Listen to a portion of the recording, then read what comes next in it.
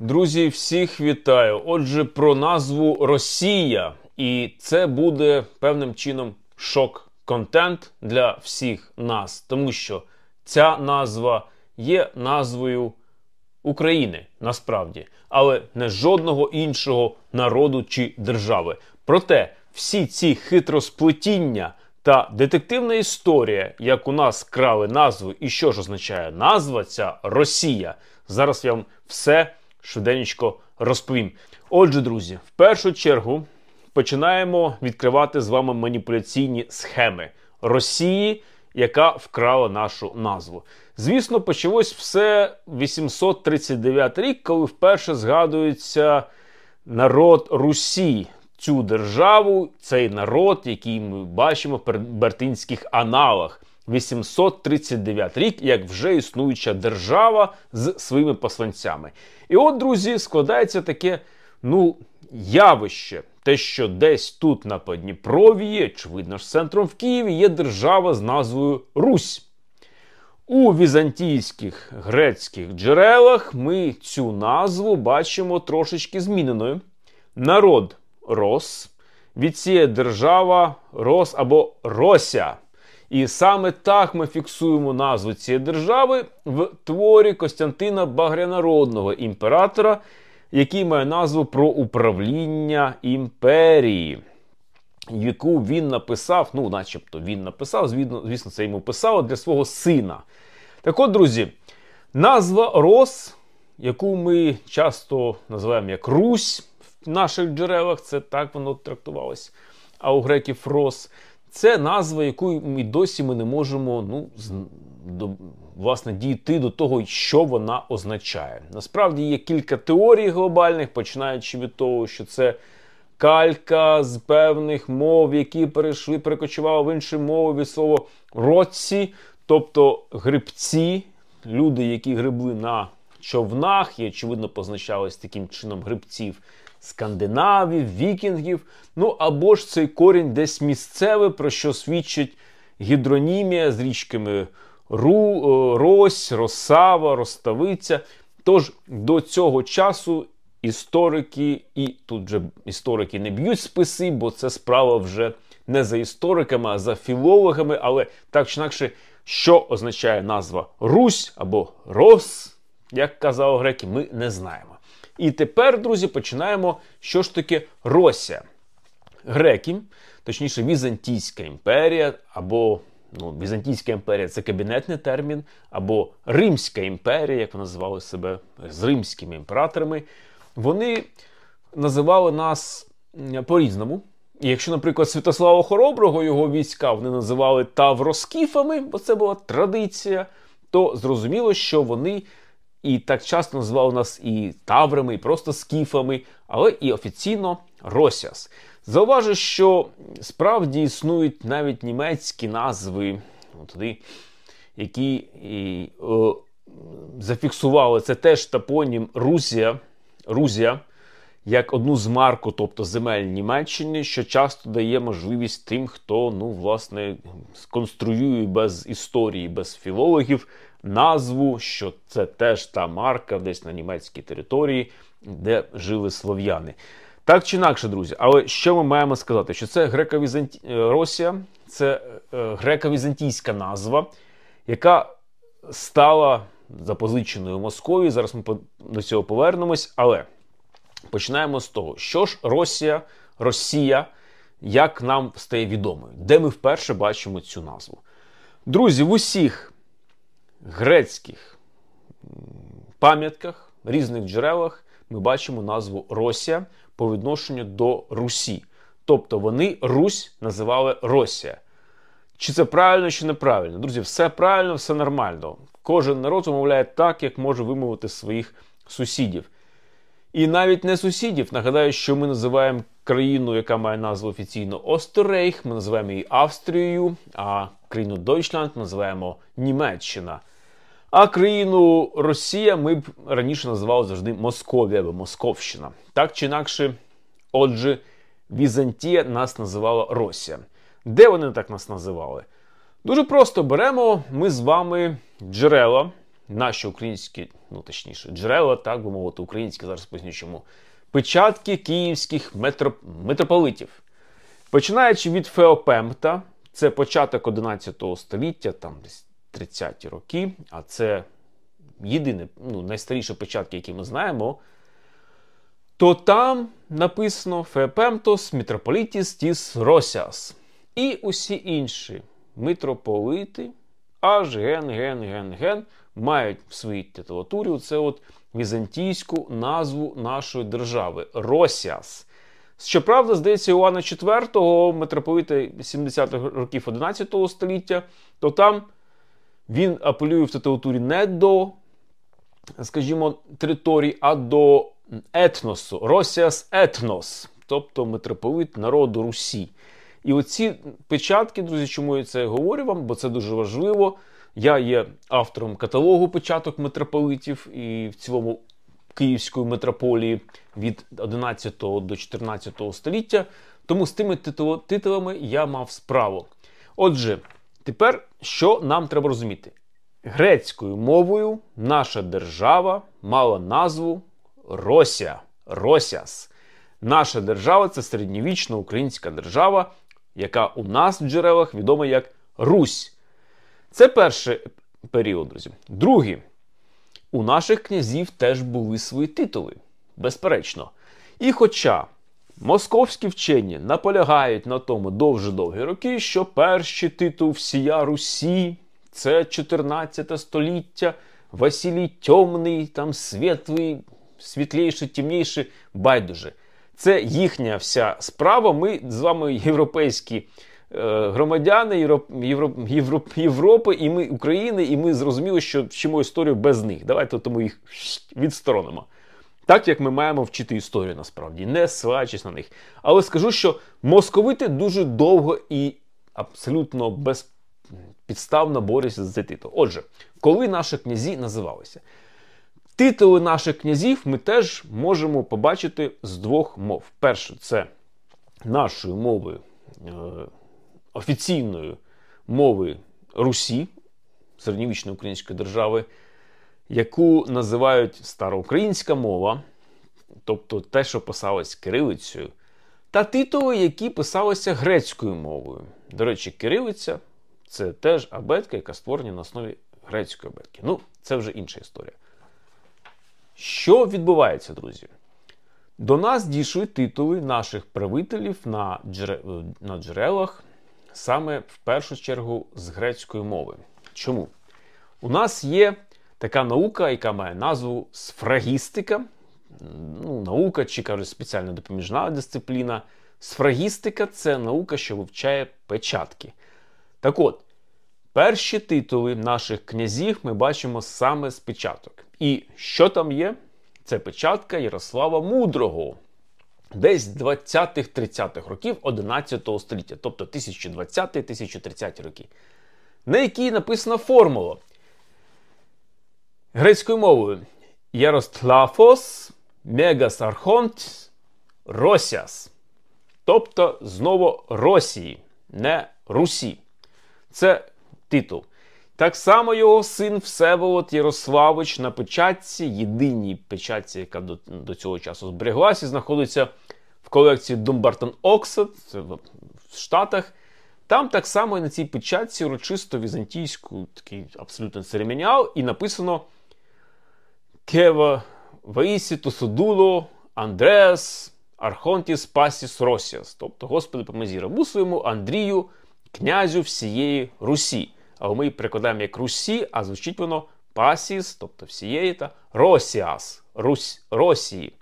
Отже, друзі, ти з титулатури зрозуміло. За київськими князями грецький титул, е, грецький, е, точніше, титул в перекладі грецькою, де звучить слово всієї або просто Росіас, Росії.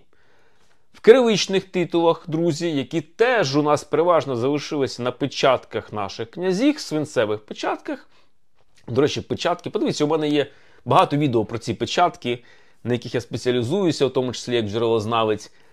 На кириличних написах на цих печатках у нас є титул Всея Русі, або там князь Руський, Тобто у нас традиції Русь, в Візантії традиції Росіас, Росія.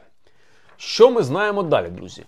Це історія наша та Візантії. А от, наприклад, якщо ми говоримо про, ну, скажімо, Європу, то там теж е, форма Росіас, Росія, вона перейнята була з Візантії.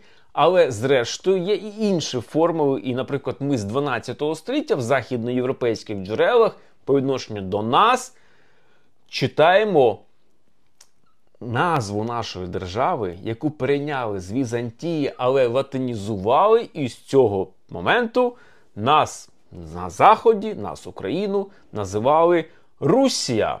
Тобто це латинізований такий варіант е, слова Росія і плюс з додаванням нашого цього от Русь. Тому е, ті, хто використовує латину, називають нас Русія, інколи Русця, а інколи Рузія.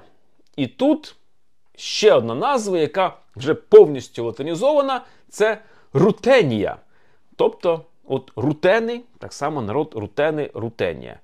Форма Росія зустрічається в текстах західноєвропейських, і ми тут говоримо про таких людей, як Марко Поло, дослідника, Бронже Катаріні та низку інших.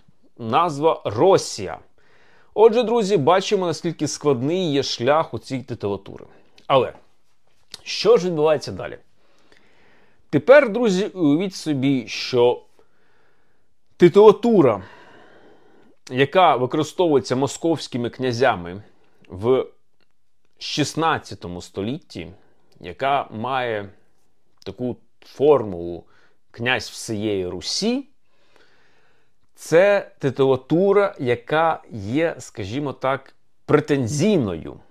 Тому що, щоб бути князем всієї Русі, ця формула вони взяли від своїх предків. Тобто є Московське царство, яке сиділо під Золотою Ордою. Усом Джучі, яке користувалося політикою, економікою і ментальністю монголів, але населення різне абсолютно, різні племена. Проте є династія київських князів, які там свій серед е, чужих і чужі серед своїх. Але у них спадково є цей титул князів Русі. І звідси ми маємо сказати, що політично наші молодші гілочки київських князів, які правили оцим от шматком території колишніх колоній нашого Золотоверхого Києва, вони династично, звісно ж, мали право на титул князь Русі, руський князь точніше. І в 16 столітті вони починають абсолютно, скажімо, використовувати титул князя всієї Русі. Це претензійно, тому що Русь в цілому залишається в орбіті інших двох володарів, а точніше, монарха, який одночасно є королем Польщі і одночасно є великим князем Литовським та Руським. І тут, друзі, ще один цікавий момент.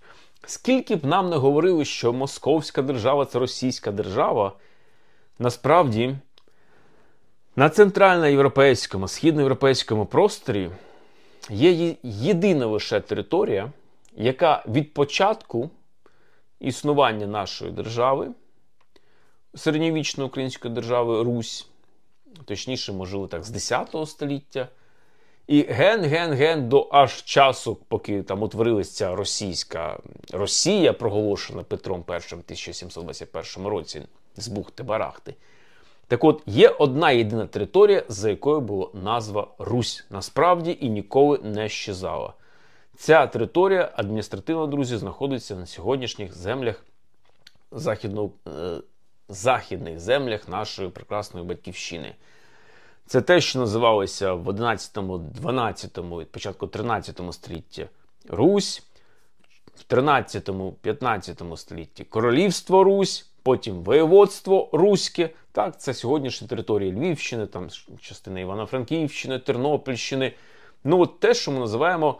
Е, пізнішої традиції воєводство руське, і звідки у поляків є е, піроги руські. Тобто, за нашою Україною, все ж таки, навіть адміністративно, дивлячись на все, зберігається назва Русь. Так от, друзі, що відбувається от в той час, коли ми з вами зрозуміли, що наших київських князів 11-13 століття титул є всієї Русі, їх називають Росія, е, титули митрополитів київських це виключно титул митрополита з словом Росія. Що відбувається далі, друзі? Ніхто ж не думав, що якась певна мавпа, яка буде копіювати і претендувати на щось, і називати себе Росія, Росія, Русію, що вона до цього досягне. І справді досягнули. Нагадаю, що для нас дуже важливий є фрагмент того, що наші всі митрополити київські мали ну, Петро Могила. Давайте згадаємо його титул так, як очільника православ'я. Окрім того, що він був екзархом Константинопольського патріарха, тобто представником, він мав титул митрополит Київський, Галицький і всієї Руси. Ці титули мали і наші православні зверхники, і ті митрополити, які пішли після 1596 року в унію з католицькою церквою, і поки їх не знищила Російська імперія в 19 столітті, вони так само мали цей титул митрополитів Київських, Галицьких і всієї Русі. І тут слід зауважити, що титул всієї Русі, претензійний для московських князів, він завжди був Русі. А от наші владики і наші, ну, скажімо, інтелектуали часто в 17 столітті використовують термін Росія.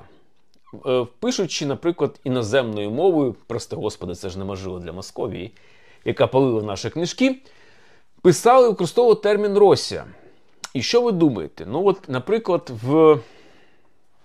На закладній дошці Чернігівського колегіуму початку 18 століття дошка з грибом Мазепи, в інтернеті є можна глянути, є напис. І тепер, друзі, уважно послухайте напис на честь того, хто заклав цю дошку. Сей храм создан Божим благословенням і пришедрим даянням та іздивенням от ясновельможного пана Йоанна Мазепи, славного войск російських гетьмана. Войск російських гетьмана. От, друзі, це до того часу, як Пьотр І вжив слово Росія в контексті своєї імперії. Пилип Поваруйк так само написав вірш панегіди, такий уславляючи Мазепу. Це кінець 17 століття, який має назву Алкід Російський. Тобто Алкід це Геракл, це інша назва. І все було нормально. В колі українських інтелектуалів термін Росія, російський це було, знаєте, як ну, споглядання в добу цієї умовної античності, але грецької, візантійської античності, де термін Русі завжди позначався словом Росія. І в цьому контексті все абсолютно було нормально, тому що ми знали, і наші предки знали в 16, 17, 15 століттях, що по відношенню до нас, українців, назва нашого народу це русини, або раніше казали роси. І що Є інша назва нашої держави і нашого народу як Росія. Тобто, грубо кажучи, я почав з е, Австрії і Остеррейха, з Німеччини і Дойчланда. Що якщо, наприклад, е, коли ми перемагаємо Росію, Московію, наприклад, німецький очільник скаже, що наша країна Дойчланд, і що ми всі пишаємося, що ми є німці німецької мови. А, а, Тут вжив би він би по відношенню те, що українці називають німців німцями, не Deutschland, Germany, вжив би нашу назву, так би мовити, мовити, вихваляючись тим, що він розуміє, як українці називають їхню державу. Так і у нас та сама історія. Ми, коли вживали термін Росія або народ російський по відношенню до себе в 16-17 століттях, говорили про ту традицію давню коли ми були відомі під назвою Росія в контексті і Візантійської церкви православної, і візантійського політикуму, друзі. Тобто це вживання урочистого, урочистої назви. Тож, е, ну, власне, як, грубо кажучи, як, наприклад, шляхта говорили, що вони є сармати, тобто ми є народ сарматський. Ну, це такі саме апеляції до тієї глибинної історії. Але, друзі, не все так, як воно склалося в подальшому. Що ж відбувається?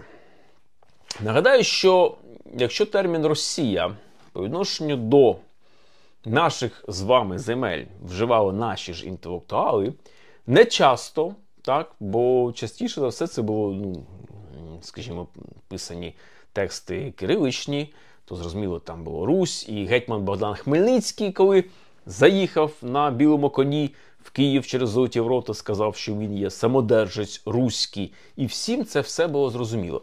Проте. Петро І, коли створює імперію, ну це як Путіна намагається каже, ну будь імператором, ну будь імператором.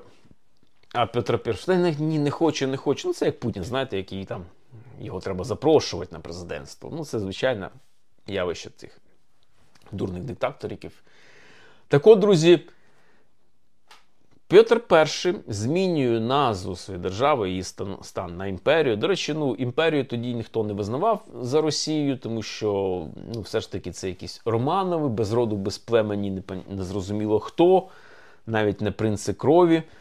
Почали визнавати Росію Московію імперію виключно вже туди ближче після смерті Петра, вже в середині і другій половині 18 століття, коли на престол в Санкт Лінграді заходили порядні німецькі династії. Так от, зауважте, що коли ж П'єтр І зміг себе назвати російським самодержцем, тут, друзі, це дата 1721. Так, вони грали в цей титул, інколи вставляючи це в якісь певні написи. Але це була гра. А коли ж Петро І? 1721. Що це таке? Це закінчення величезної північної війни, в межах якої відбувалося величезне українське повстання, під, яке очолював гетьман Іван Мазепа. І от, власне, коли Петр І отримав цю перемогу. І саме після цього він починає називати себе Росією. Коли він, по суті, затиснув нашу Гетьманщину, військо Запорозьку, Україну або тут етнічну Русь, яка себе в інтелектуальних працях називала Росія. І саме він від того часу насмілився використовувати термін Росія вже офіційно. Таким чином, забравши назву держави у того на той момент бездержавного народу, але з державницькою традицією, який він багнетами в крові втопив під час Батуринської різанини та інших військових кампаній на наших землях.